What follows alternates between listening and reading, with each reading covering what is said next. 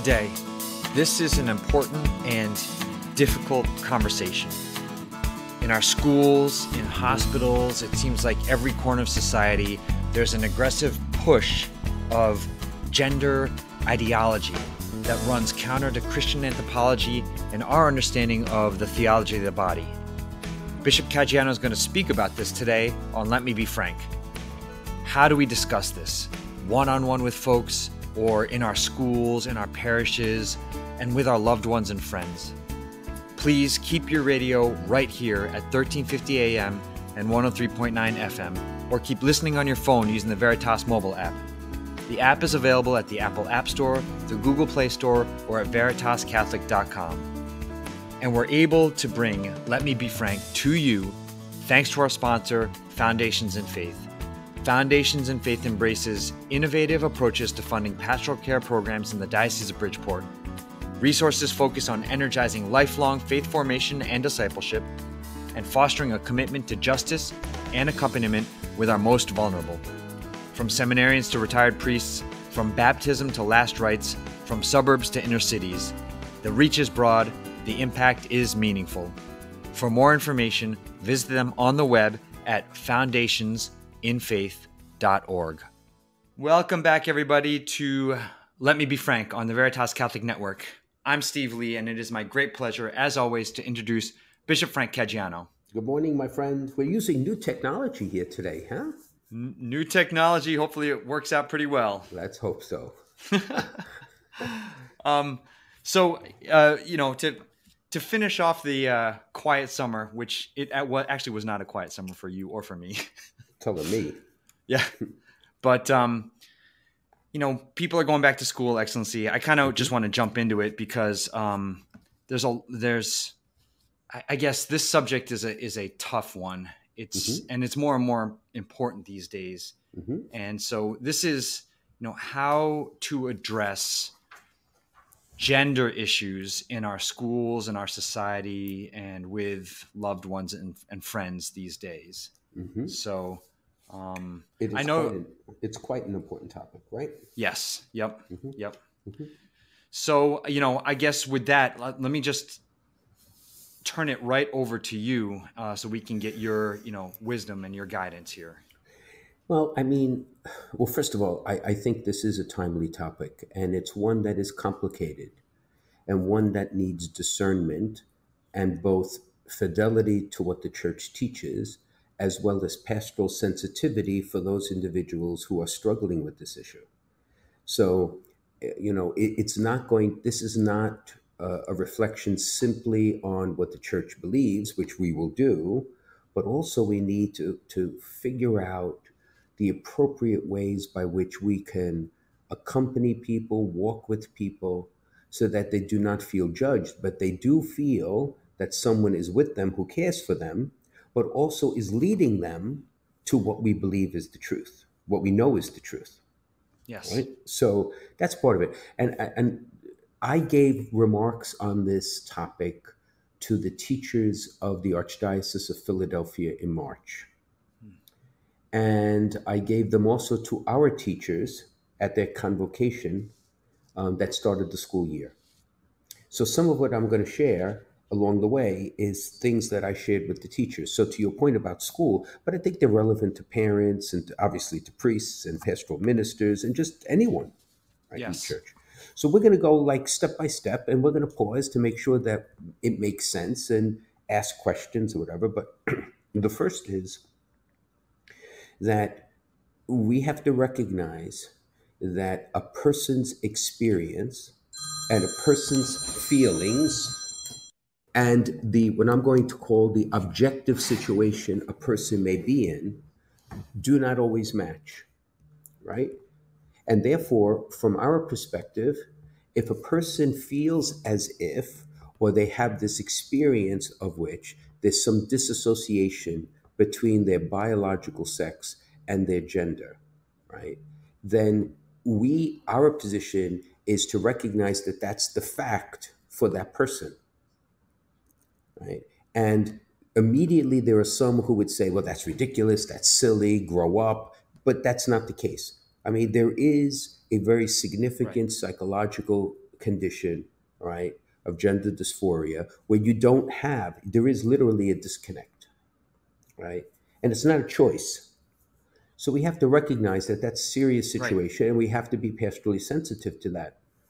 So uh, part of the pastoral approach is you start where the person is, not where you think the person should be. And you need to respect that what they feel, if they feel it, is real for them. But again, that doesn't absolve the, the, the need to have this conversation, accompany this person to the truth that we understand was revealed by the Lord Jesus, right? So does that make sense, right? Right. Yes. And the second yes, is, definitely. and this may be, and this, again, I would invite people, our listeners, to think through a bit. There is a difference between biological sex and gender, at least in most people's understanding. The difference being that your biological sex is what you are in fact born with, and it is forever who you are. Our genetic composition is never changed, no matter what else you hear in society, right? So we speak about, we speak about the chromosomes X, X, X, Y, all the rest. That is forever who we are. That's our biological sex, right? Yes. Okay. Gender yes. is the expression of this of, of one's biological sex in society.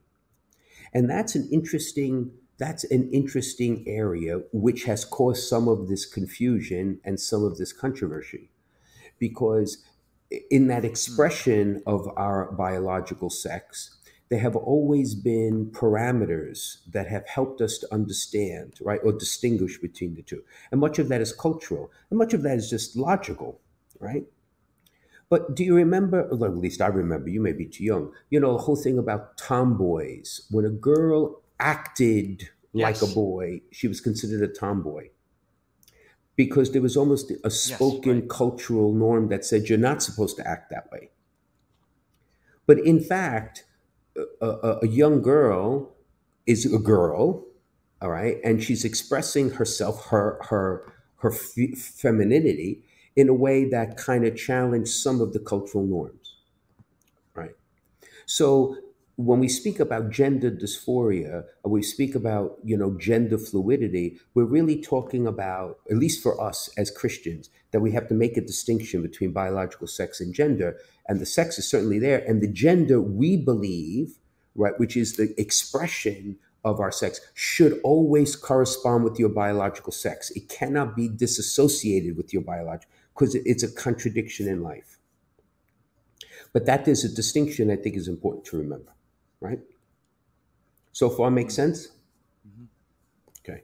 Then yes. there's a third principle we have to remember, and that's the story of Emmaus. So you and I have spoken about the story of Emmaus for a very long time, many, many times. It's a beautiful story, right? After the resurrection, and how the Lord brings his disciples to turn from the path they had chosen, which was out of disappointment and fear and perhaps some level of anger, back to the mission that they had before they saw the horror of the passion and death of Jesus. Right? Now, the yes. principle there is the principle I've spoken about before, we need to consider here as well. Jesus walked with the disciples, the two disciples, in the wrong direction for a period of time because the Lord knew that there was reasonable hope that the person, those two disciples, opening in their hearts to the word, to Him, to His presence, would come to a moment in the breaking of the bread where they would recognize they were going in the wrong direction and turn around. Now, that reasonable hope was reasonable because the Lord knew I mean, remember, he's God made man. So he knew their hearts. You and I do not know other people's hearts. As much as we would like to think we do, we don't. Right. So, part of what I'm going to suggest is as we try to articulate for a person, a group, the society, what the church teaches, because that will not change. We're going to have to have the pastoral courage to walk with people and engage with people who will disagree with it, who are, eh, eh, if I might say, symbolically walking in the wrong direction from the direction we would hope they would walk. But we do it because we do have the hope, and it's reasonable, that if we do walk and build relationships and have conversations and help them to understand the truth in an effective way, that more and more of those individuals will be touched by the truth. And then it's our obligation to help them to live the truth as best they can. So that can get messy because depending on the attitude that the person has, they may say, oh, look at this one. Or he's hanging out with these sort of people. Or he's doing that. Or he seems to be, you know, turning a blind eye to this or that or the other, which is, you know, which is a judgmental attitude from the from the outside. But the person who's the pastoral minister, whether that could be someone's parent, pastor, director of religious ed, teacher, coach, whomever, friend, their intent is not to say, well, you know, you, you have made this decision and I, who love you, right, are just going to accept it and just move on. Yes, I accept you. I love you. I recognize your feeling. I recognize, but I also want to engage you in a greater truth.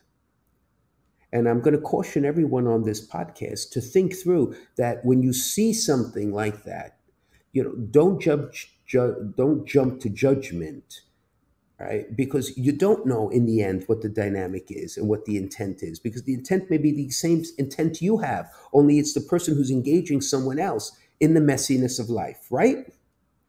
Right. Yes. Okay. So that's the end of that homily. Now, we could talk about so what does the church teach? And part of what the church teaches rests with the answer to the question what makes a human person human? And again, we've talked about this before. So this is kind of like repetition, which is the mother mother of all learning. If you were to ask the average person in the contemporary world, in this secular post-Christian world, what makes a human person human? Many times, maybe using this word, these words are not using their words, they would say that a human person is a spirit, is a soul, is the center, you know, in more classical terms, of subjectivity, right? That I, what makes I an I.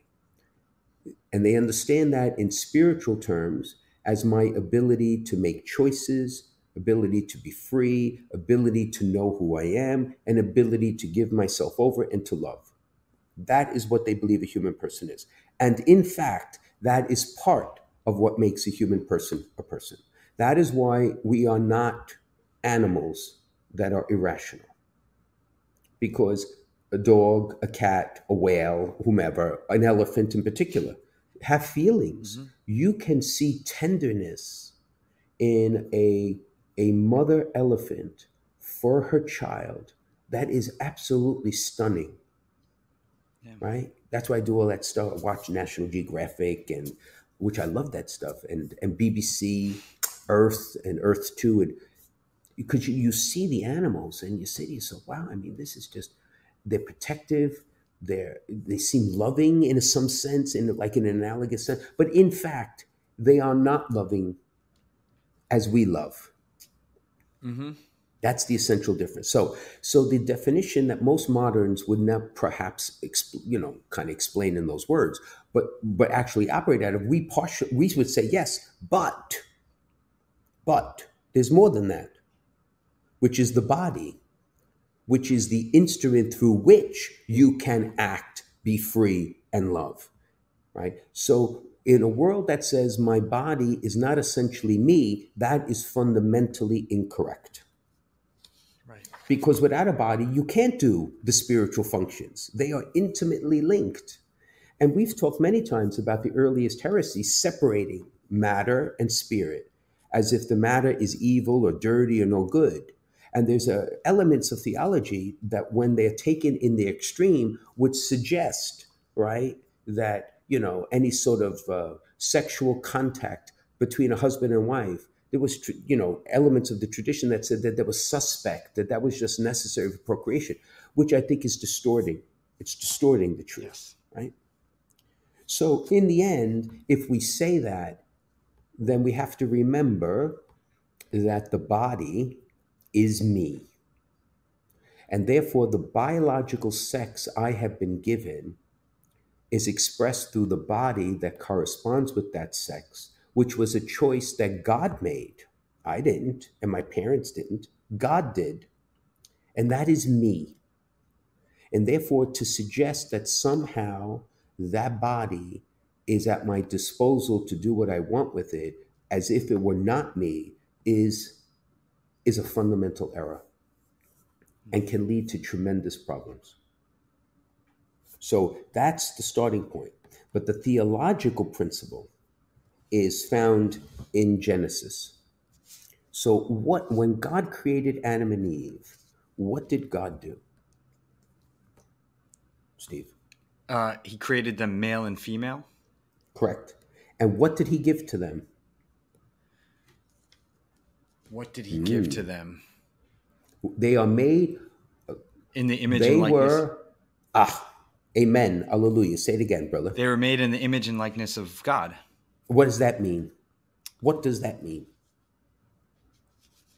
that's that's a fundamental principle in this what does it mean and you could describe it in many different ways but in fact one way to describe it would be to say that when god chose in his infinite grace to enter into the material created world that was of his own making, the only worthy receptacle to do that was the human person, body, soul, and spirit.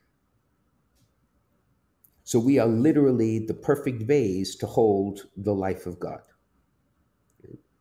which means that the whole person is the receptacle for God's life not just his soul and his spirit. So the body shares in the dignity of the image and likeness of God, even though we say that God is pure spirit, which he is, but it shares in the dignity of the image and likeness of God because it is empowered, okay? It is in it is enlivened by the soul and spirit to be the way by which spiritual faculties can be expressed in the world unlike angels, which we talked about last week. So the entire person, body, soul, and spirit, is a temple of the Holy Spirit. So the soul makes the living body, which is pure matter, makes it holy. It makes it the vehicle of grace. And that happens at the moment of conception, where we believe we're created by God and given a soul to animate a particular body which reflects the sex that God chose for us. So let's stop there for a second. Does that make sense? So far, yes. So far, it, it all makes sense. It's uh, you know, it all it's step by step. It kind of builds yeah. on each other. Right. So then, so then, even when the original sin happened, we did not. Lo- we were deformed, okay, but we did not lose the image, the divine image in us right? So there's a basic dignity that even sin cannot take away. And when they did sin and felt naked, that became the beginning of the disconnect between the spirit and the body. And that's why St. Paul says we war, right, between our soul, what we want to do and what our flesh tells us. All that imagery, that feeling nakedness, that disconnection is because sin has disordered what would have been and will be in heaven a perfect harmony between body and spirit. That's why we believe that Christ, that's why we believe in the incarnation, that the Son of God, the second person of the Blessed Trinity, took on human flesh. He didn't just come as a spirit or a ghost. Right. Right. Yes. So, when there's any conversation about the mutilation of the body, it's gravely disordered for that reason. And when there is a conversation that my sex and my expression of how I'm going to live my life can be totally disconnected. It's, it's disordered for that reason. Because I was created as a man, I was created as a man and given this body, soul, and spirit by God so that it can be the receptacle of grace, sharing in his dignity, and to be with him forever. So when there is this disconnect, that process becomes that much harder mm. for that reason. The other interesting thing that we forget, and I'll stop at this other one so then we can have, you know, more of a conversation, is when you say, when I say, when the tradition says we're made in the image and likeness of God, the question is, who is God? And what does Revelation say, right, about who God is? What does the incarnation, the coming of the second person of the blessed into creation, what does that say about God? What it says about God is that God is more than one in him. So, what we're really saying is the human person is made into the image and likeness of God, who is a divine community so, therefore, there is a fundamental relationship in God which is perfect. The three persons of the Blessed Trinity, perfect. And therefore, humanity, reflecting that, is called to go into community, into relationship. And that is why, both biologically and spiritually, he made them, like you said before. How did he make them? In his image and likeness. Male and female. Yes. He made them. Yes.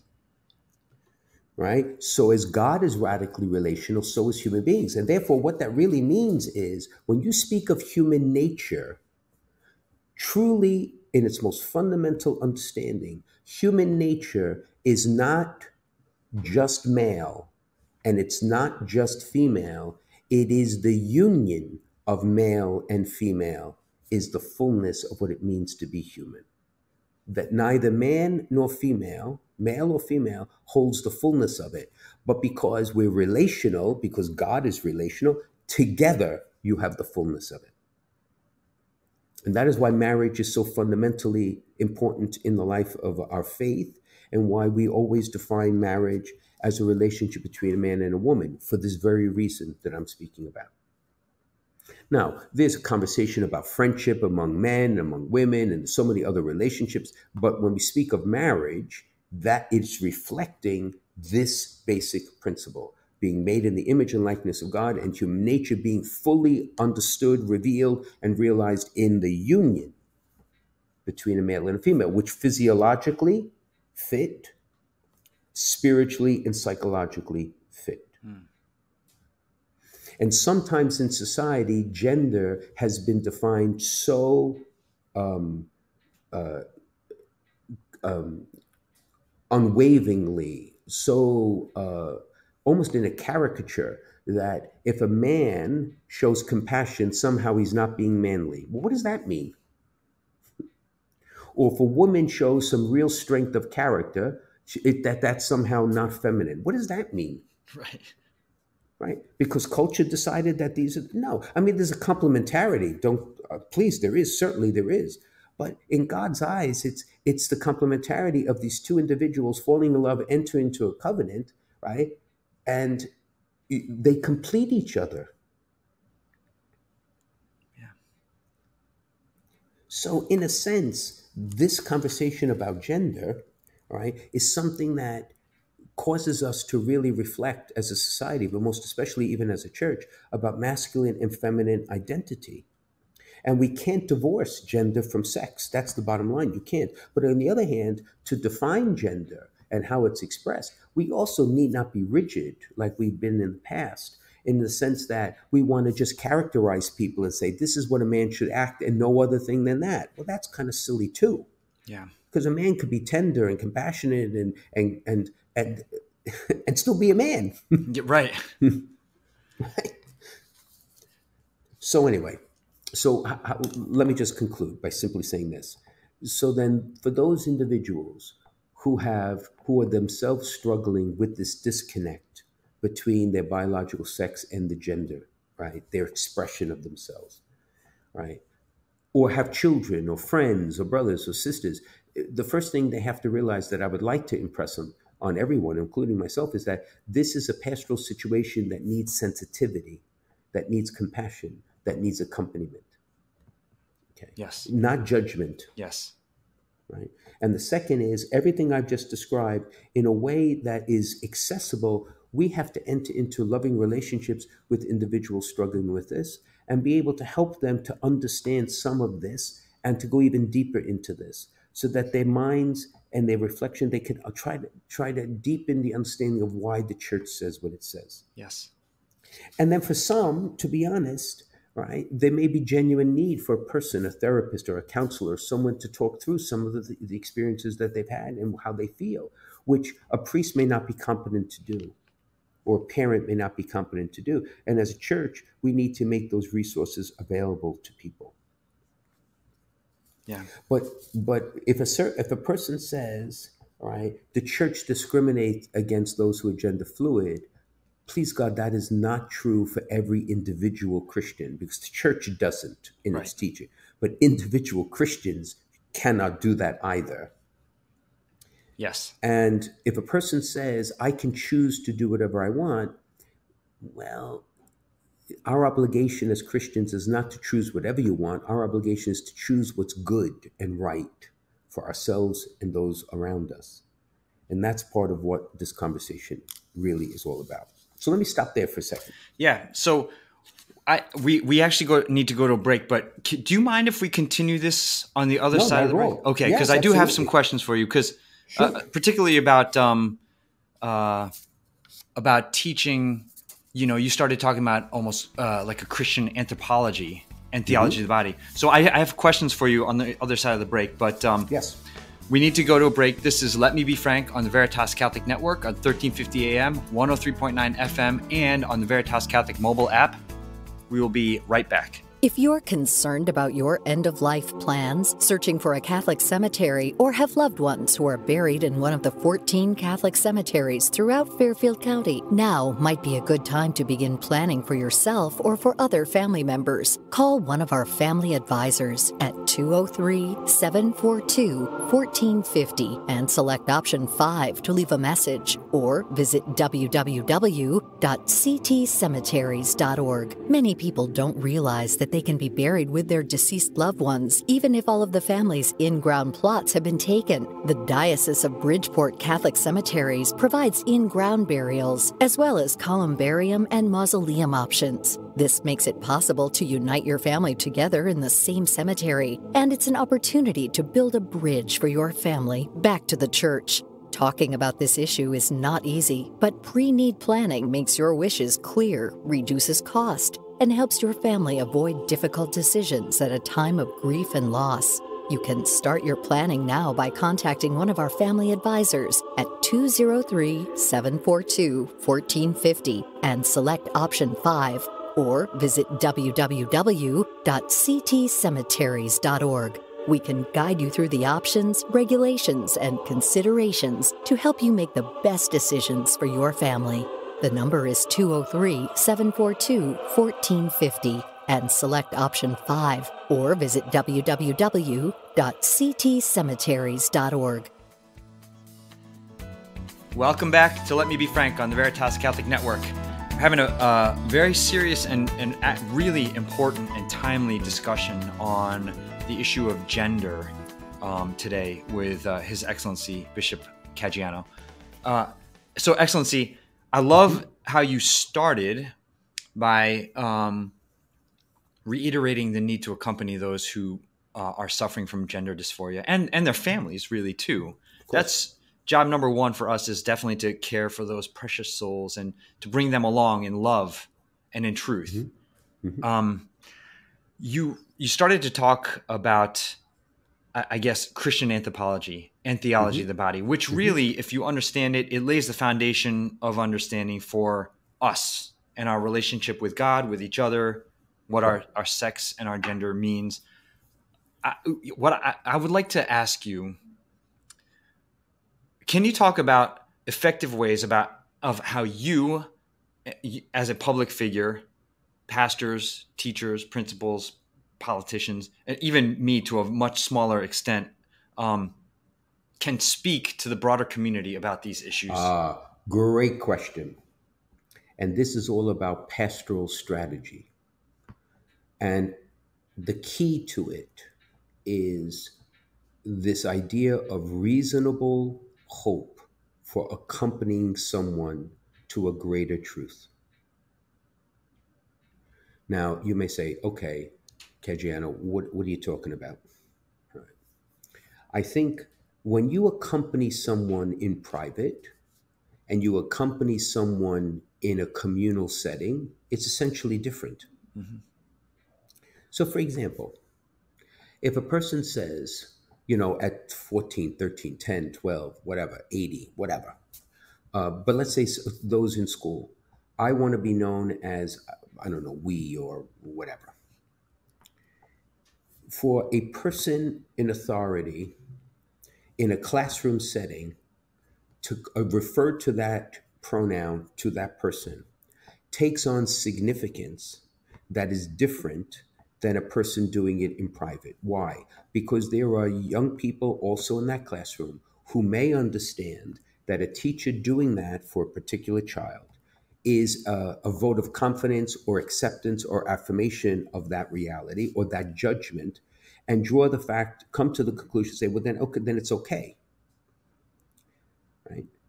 Versus one-on-one in a private setting if the judgment is i need to I, and i want to build a relationship with this person and if i immediately say that i'm not going to use this pronoun with this person right in a private setting then how make how does that make it reasonably hopeful that they will listen to the truth that i hope to over time help them to understand effectively? Right?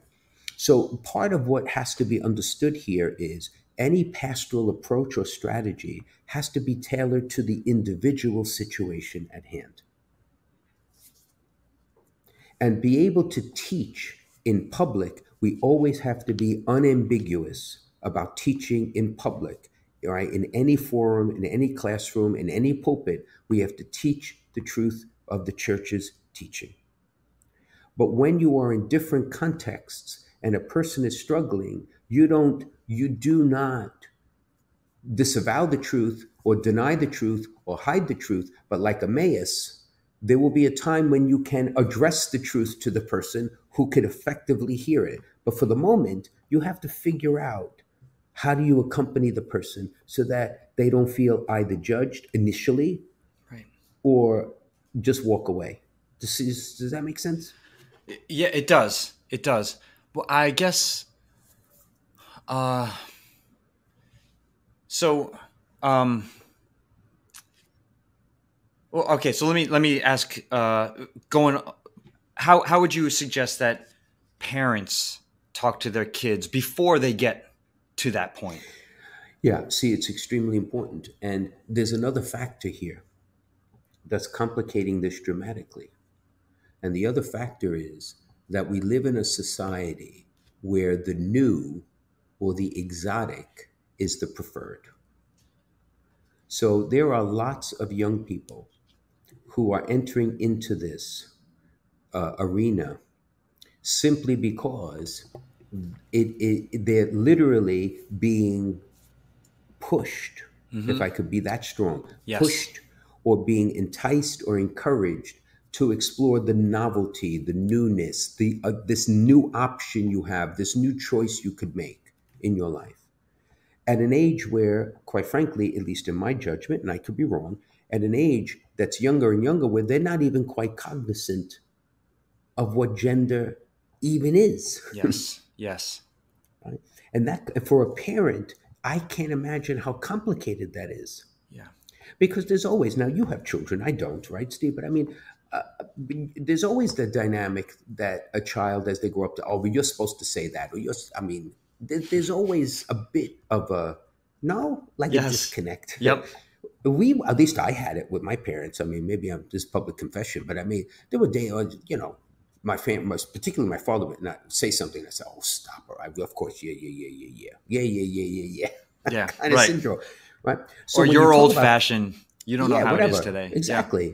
and that's part of, I guess, human nature after Adam and Eve. But, uh, but, but, but in this case, it's an excellent question of how a parent can actually address this question with a son or daughter that may actually already be struggling with it because they they just one day come home and announce that you know I want to be known as Jim instead of Jane or which happens, Yes. or are in company with young people who are struggling with this, and how do you actually brace this? I don't have a simple answer to that because I think in the end, it's it's like everything else. It, it may be that a parent is not as equipped to do it as a teacher is, or a friend is, because it depends on the dynamic that the child has with his, his or her parents to begin with. Right. It's complicated, isn't it? It is. It is. So I'll tell a quick story. Early this Mm-hmm. summer, uh, the Lees went uh, away on a short trip uh, with another family, another great family, Mm-hmm. and we went out to our first dinner. Um, and I had my back to the restaurant. My daughter, who had just turned thirteen, uh, and the, the other family has three daughters. Their youngest daughter is uh, was about ten or so. Mhm. They're sitting across from me, facing me, and we had just sat down a couple minutes in and suddenly i see my daughter and their youngest daughter their uh, jaws dropped and they were staring at something behind me so i was like hmm they kept staring and so i turned around and i looked and it was uh, it was a man. He's very muscular square jaw strong strong look um, uh, crew cut. He was wearing a, a skirt and makeup. And they just my daughter and and the the other family's daughters are admittedly a little sheltered. So they just had never even conceived of this before so i turned and i looked and i saw it and i said i thought to myself oh gosh you know what do i say? Mm-hmm. So i just said i just said girls are you are you looking at that man behind me? And they said yes. And i said okay don't stare. And i said isn't it sad he must be confused about something? And then the look of it was almost relief on their faces. They were like, "Oh, right, he's confused." Mhm. I didn't know. I mean, I don't know if that's right or not. I just that's just what the first thing that came to me. Right, right.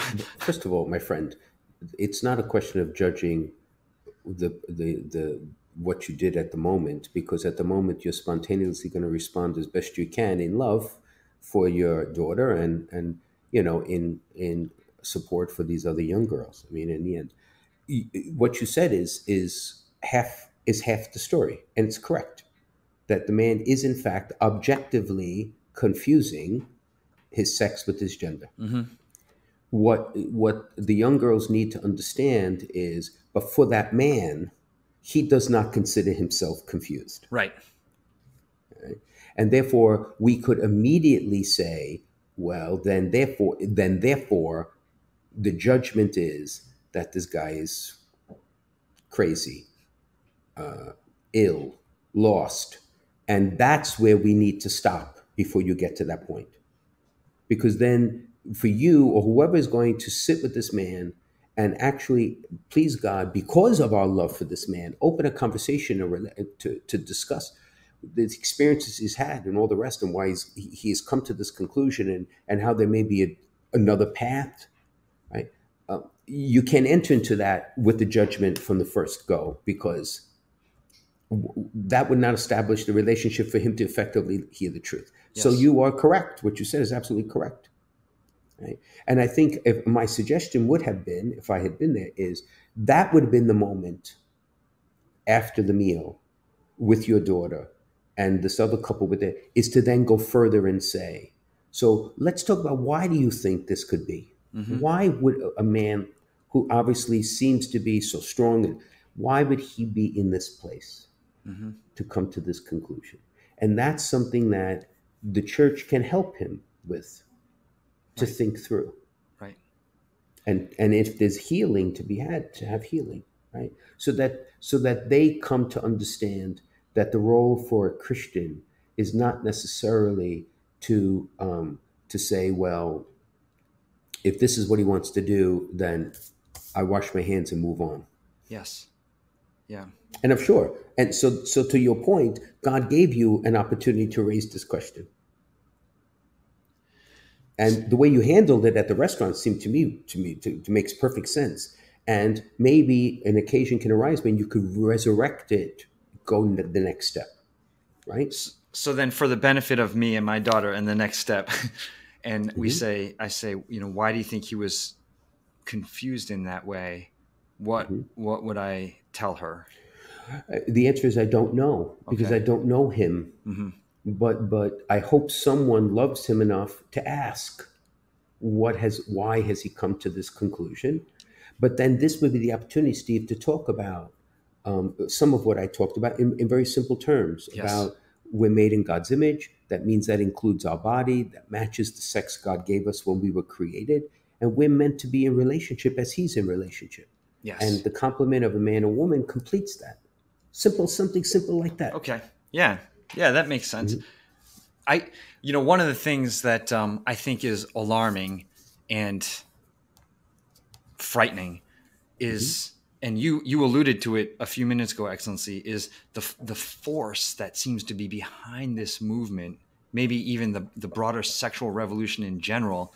It's mm-hmm. gone from simply asking for acceptance of what they're doing to like this like this aggressive demand of you know submission from mm-hmm everybody. I don't know how well, to. Yeah. Yeah, no, no. I think you're absolutely on to, to, to a fundamental dynamic. But forgive me for being so blunt here, but that dynamic is everywhere. That dynamic is everywhere in society. Um, if my life is all about me, mm-hmm. then I don't particularly care about you or what you have to say about me. So when you bring that to a logical conclusion, then whether it's this question or the question of anything that's perceived as human rights, or the question of a choice over an unborn child, or whether it is my political persuasion, or whether it is my economic status, in the end, if my life's all about me, I don't care what you have to say about it. Yeah. Get in line to make sure I have what I want. And we see it everywhere. And it and you know what, Steve? The truth of the matter is if you look over the last 30, 40, 50 years, there have been different social and economic and political waves in the ocean where we have crested because I want I've decided this is what I want and that's it, ladies and gentlemen. And this is just another example of it. Yeah. And the difficulty is if all of this ebb and flow, all of this assertion of my rights has is disconnected from reality, from the objective reality. You're creating a house of cards yes. that eventually will completely collapse. Yes. Yeah. And that's the danger. And that is why I am saying what I am saying, because we have two options here. You have those Christians and Catholics who say, well, let the cards fall, let the whole thing collapse. We're going to be a small remnant and then we'll rebuild society. Or there are those who say, it's our obligation as best we can in the world to prevent those cards from collapsing and be 11 because the collateral damage of all those individuals is too high a price to pay. Yes. Yep. We, and of course, I vote for number two. I don't vote for number one. I always vote for number two. Right? Yeah. but that but that's why these these conversations are so important and they're so delicate and they need pastoral sensitivity and they need fidelity to the truth and they need accompaniment because Frank Caggiano and Steve Lee and and Mr. Spila Beeper, whoever else happens to be here, are different people in different parts in this road, and we got to walk with them to get them to the fullness of the truth. Yes. Yeah it feels like, and you've talked about this a lot, Excellency. Um, you know, that's your truth. This is my truth, mm-hmm. um, and that's that's deeply uh, ingrained in in part of the, the problem here. Um, Correct. Right. Well, may I put it this way, Steve? It may be your truth, my truth, your truth, the other guy's truth, but then there's reality. Right. yeah which we can't even in, in the in the social media made up world of you know I I say it enough times it's true. No, it really isn't. It yeah, really isn't because then there's reality and and there's a, and and the body and the human person who's in, and his soul and spirit is a reality. I mean, it just is what it is. Yes. Yeah. That's inescapable. Mm-hmm. Yeah. I, um, I guess what I I get I I don't worked up's not the right word, or maybe it is, but I just this issue is so uh, well. It's packed with emotion on all sides. But yes, it is. I, I'm Yes, really I'm really concerned about this um, this push. You know, even in uh, some public school systems and things, Oh, yeah, this push absolutely. to get Mhm. kids like like just just pushing them and almost brainwashing them. It starts in in kindergarten even, Right. And and and they there's this this this perspective that parents are the enemy and Right. you know the state is is the the friend and the ally Mhm.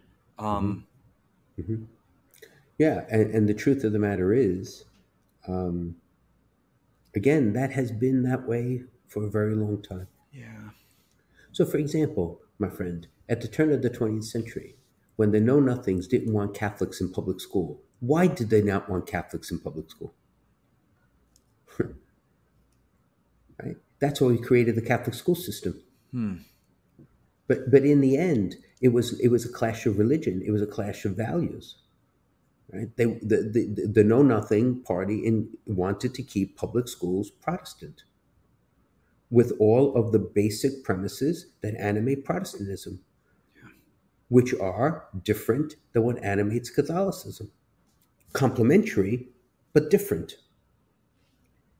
So even now, now they're secularists, and secularists, I've, I've said many times, is a religion.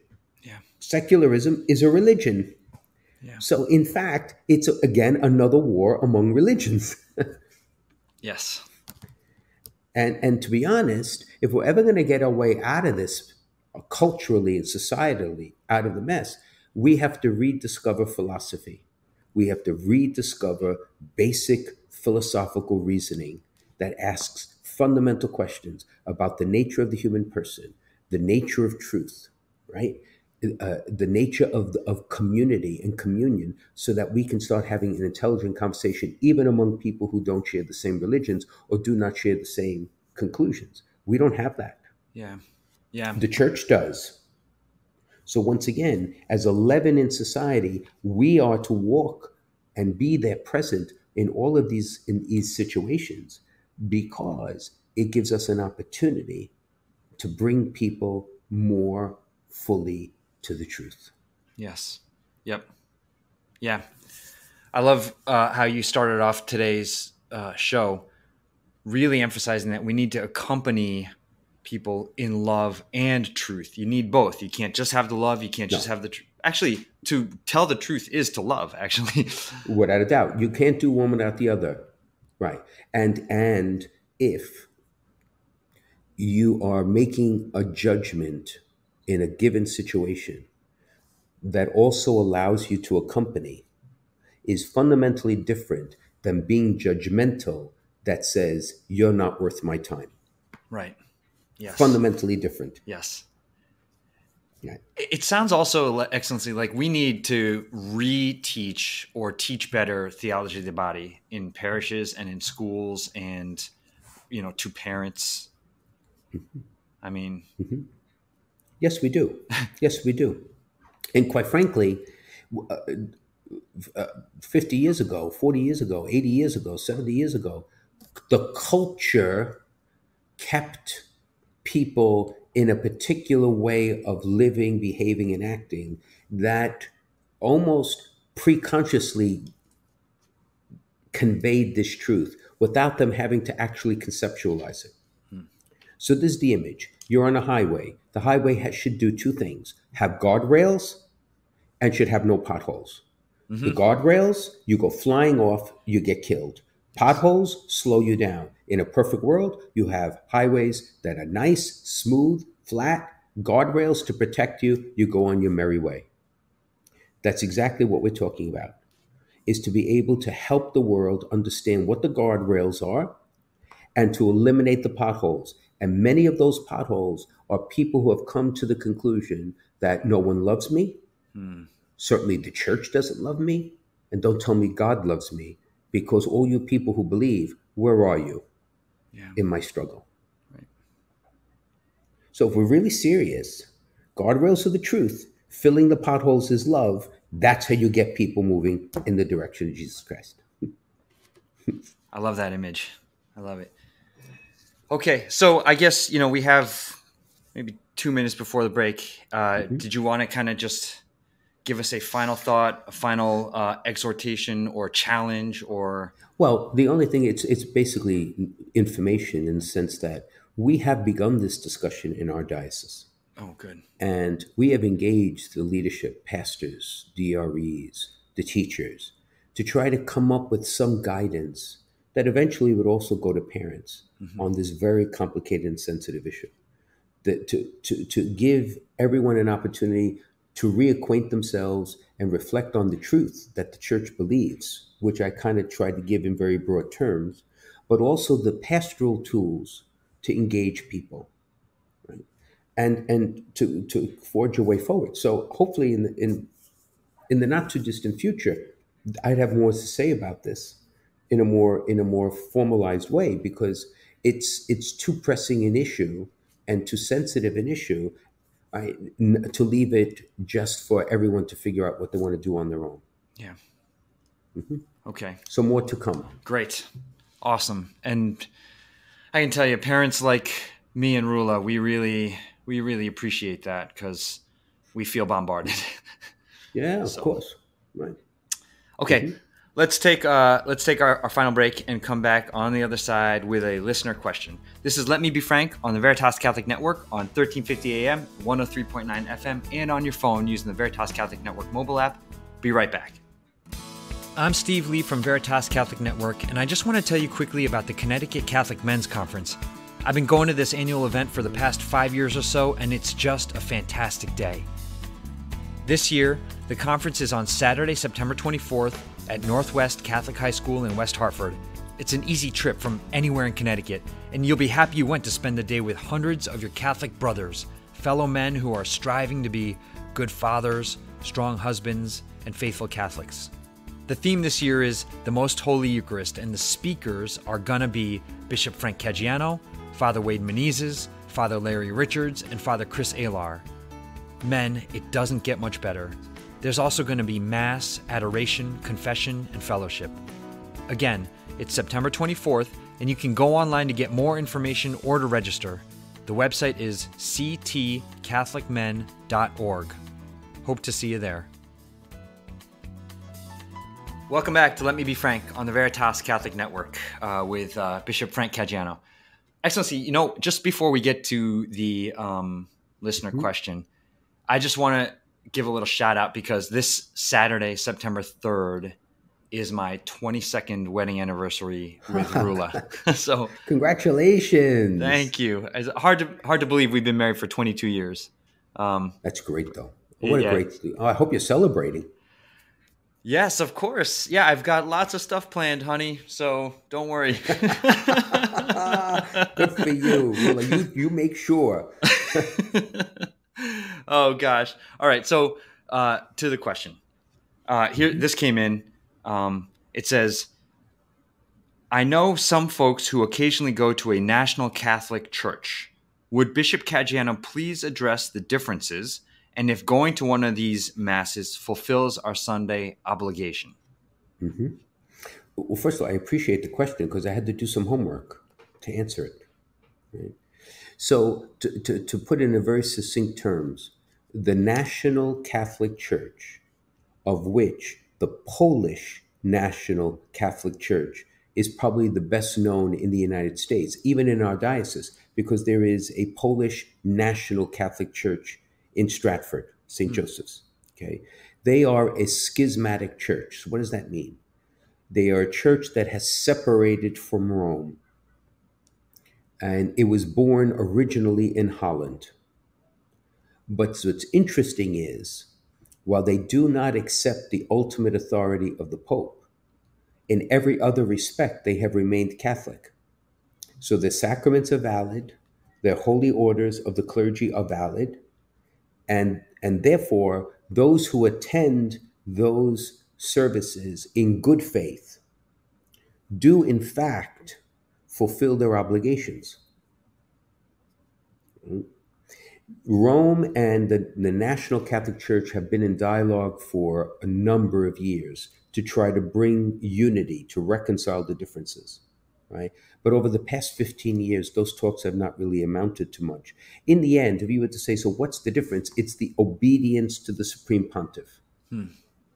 Right? They don't recognize the leadership of the Pope in an absolute way. But in terms of faith, creed, and sacraments, they are essentially no differences. Hmm. So that's the difference between the 2 mm-hmm. It's a big problem, though.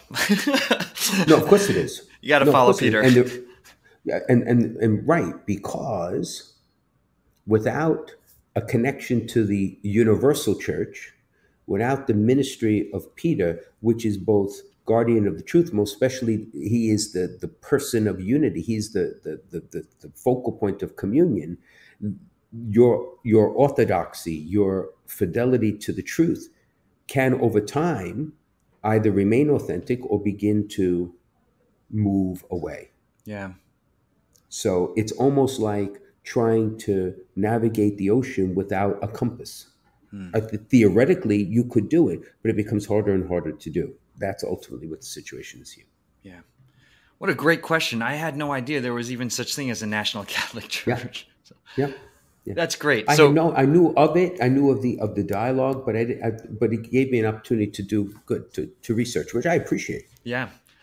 Awesome. So if you have a question for Bishop Frank, send it in to us on social media or you can email questions at veritascatholic.com.